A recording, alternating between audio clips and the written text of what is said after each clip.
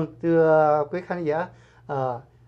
chúng tôi tiếp tục trong cái phần này. Trước khi bước qua cái phần liên quan đến cái vấn đề à, liên Trung Cộng đối với cái tình hình chung thì chúng tôi muốn nhắc lại một lần nữa là chúng ta thấy cái tình trạng mà nhà nước Cộng sản Việt Nam hoàn toàn đứng về phía nhà máy Formosa, Formosa bảo vệ nhà máy Formosa thì chúng ta biết là à, nhà máy này sẽ bắt đầu khởi động cái máy số 1 và cái mức độ mà ô nhiễm nó vẫn còn tiếp tục xảy ra ở biển miền Trung. Những cái dải nước màu đỏ màu cam vẫn tiếp tục ở trên mặt biển và cá vẫn tiếp tục chết. À, thế nhưng để bảo đảm cái chuyện mà nhà nước cộng sản Việt Nam bảo vệ à, Formosa chống lại những cái phản ứng của người dân thì một buổi họp của à, đại tá công an tỉnh Hà Tĩnh đã vô họp cùng với cái nhà máy Formosa để làm thế nào tiếp tục để cùng với nhà máy Formosa để bảo vệ và ngăn chặn những cái cuộc xuống đường đòi hỏi của uh, người dân tại uh, miền Trung. Thì chúng ta thấy rõ là trước những cái đòi hỏi chính đáng của người dân thì thay vì nhà nước cộng sản Việt Nam phải đứng về phía người dân để đòi hỏi cái cái quyền lợi đó thì họ hoàn toàn chọn lựa cái thái độ đứng về phía nhà máy Formosa và chống lại tất cả những đòi hỏi chính đáng của người dân chống lại tất cả những, những quyền lợi của người dân mà bất chấp những cái sự mà tác hại đến à, dòng giống cũng như là đời sống của người dân hiện tại và trong tương lai. Thì đó là những cái điều mà chúng ta thấy ở trong tương lai sẽ còn có những cái chiến dịch để vận động à, làm thế nào à, chúng ta phải giải quyết được cái vấn nạn mà đang xảy ra trên đất nước của chúng ta. Thì trong tương lai xin quý đồng hương ấy tiếp tục hỗ trợ cho các cuộc vận động đó. À, sau đây thì chúng ta thấy một cái sự kiện khác xảy ra đó là à, cái cái à, cuộc họp thượng đỉnh của các một số các quốc gia ở tại do Trung Cộng triệu tập trong cái việc gọi là cái à, con đường tơ lụa thì thưa quý đồng hương đây là một cái con đường tơ lụa đây là cái con đường mà ngày xưa ở thời Trung Cổ đó, thì một số những cái à, thương giao thương của Trung Cộng đã sử dụng cái con đường này để mà buôn bán xuyên qua cả Âu Châu, Á Châu và xuyên qua Âu Châu. Và ngày hôm nay Trung Cộng trong cái tham vọng là muốn uh, thiết lập lại con đường tơ lụa này nó xuyên suốt từ uh, Trung, uh, Trung Quốc qua uh, Á, qua các quốc gia Á, Á Trung, Trung Á. Á rồi đi qua Âu Châu và cái cái ước vọng đó họ muốn sử dụng cái con đường đó để khống chế tất cả các vấn đề liên quan đến vấn đề kinh tế ở ở trên thế giới và nếu con đường đó mà được thành lập thì cái số người dân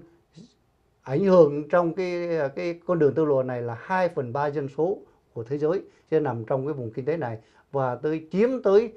uh, 6 70 phần trăm cái nền kinh tế của thế giới. Thì thưa chị Xuân Phương là trong cái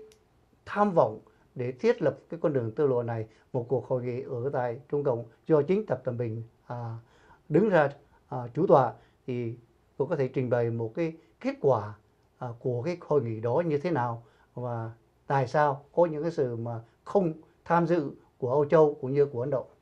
À, vâng kính thưa quý vị thì cái ờ, dự án mà gọi là con đường tơ lụa uh, một vành đai một con đường của ông Tập Cận Bình đó ông đã được đưa ra từ năm 2013 thực chất đây là cái mà Bắc Kinh muốn sử dụng để đối đầu lại cái TPP mà của Tổng thống Obama đưa ra.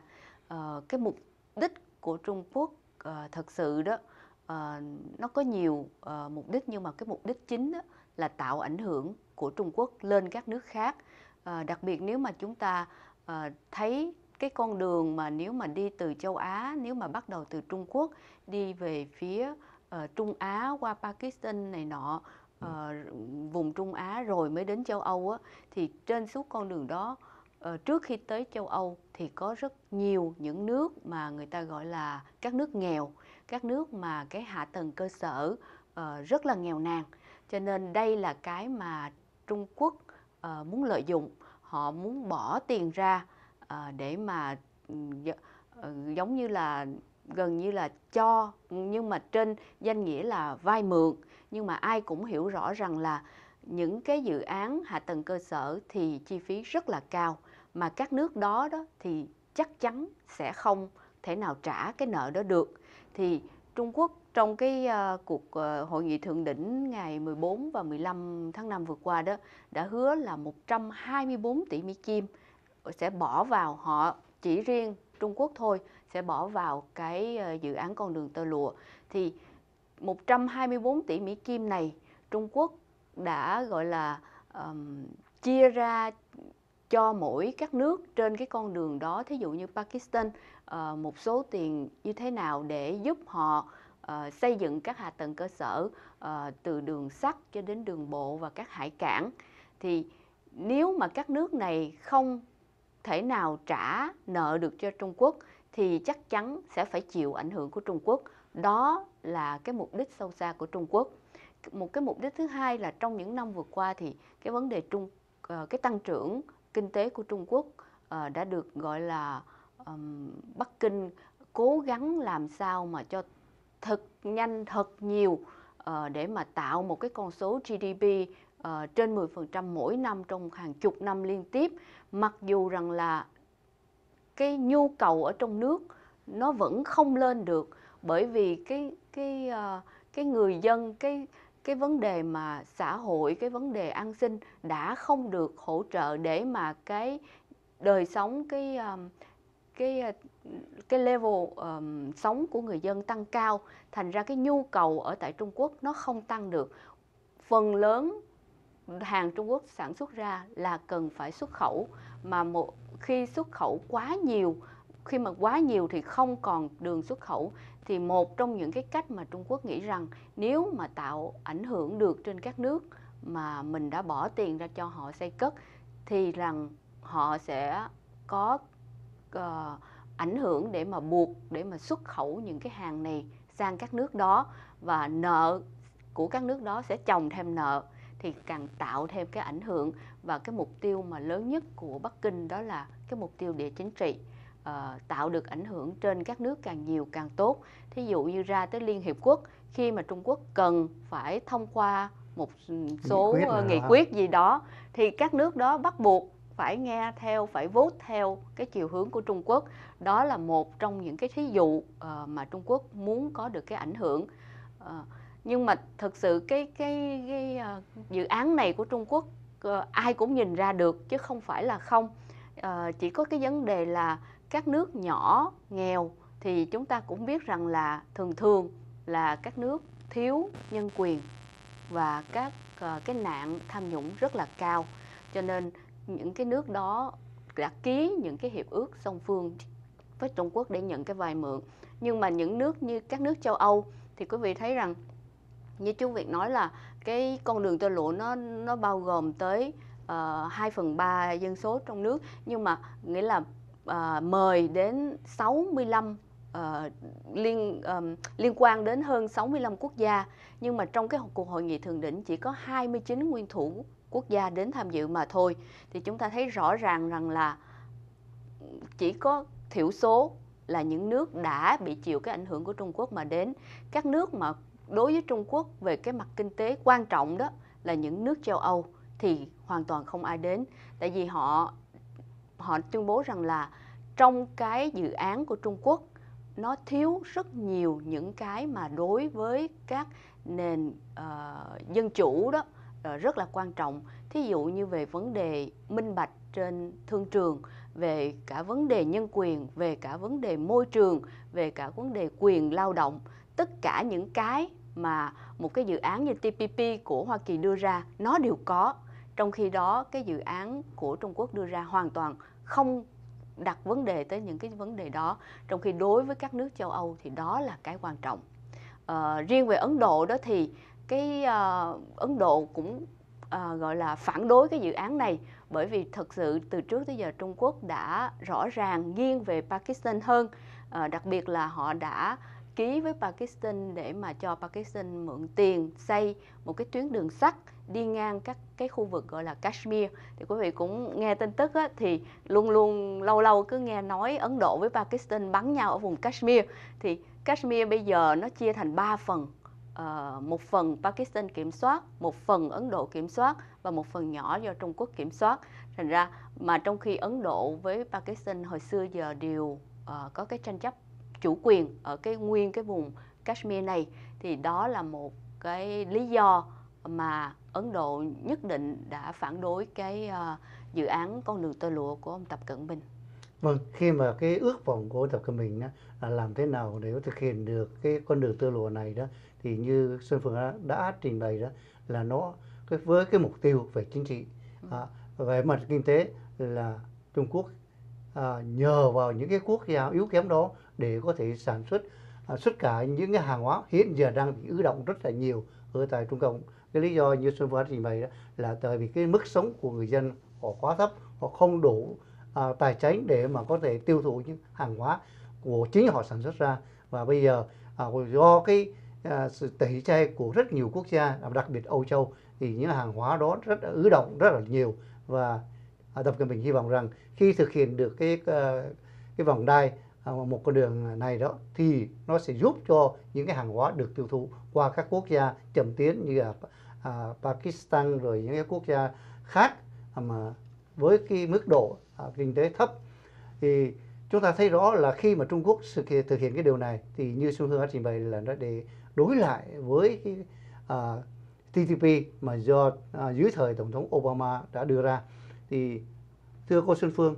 à, mặc dù Hoa Kỳ đã rút ra khỏi TTP nhưng mà TTP với sự lãnh đạo của Nhật Bản thì vẫn tiếp tục tiến bước trên con đường làm thế nào vẫn hình thành được ờ, à, TTP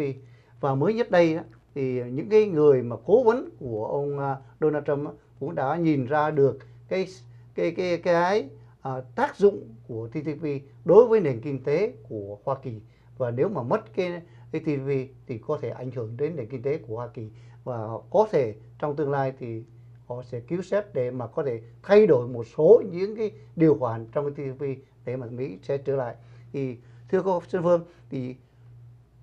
với cái tình trạng hiện giờ mà chúng ta thấy là cái đối nội của ông tổng thống uh, Donald Trump đang đứng trước những cái uh, sự chống đối rất là kịch liệt của rất nhiều thành phần và trong đó người ta còn có thể uh, Ờ, đưa tới một cái ờ, là có thể ông ta bị bài chức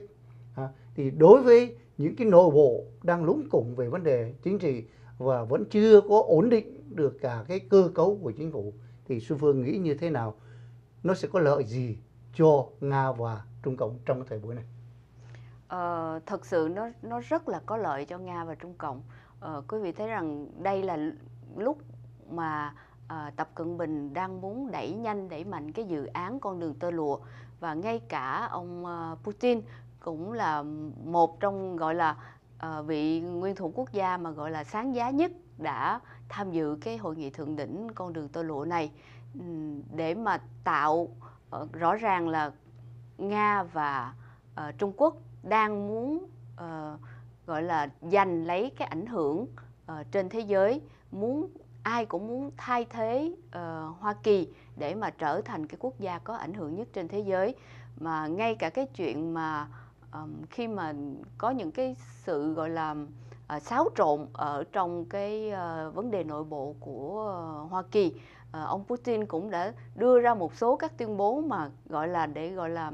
uh, đổ dầu thêm vào lửa đó để mà tạo thêm cái xáo trộn ở tại Washington đó. Thì chúng ta thấy rõ ràng là là uh, nếu mà Hoa Kỳ uh,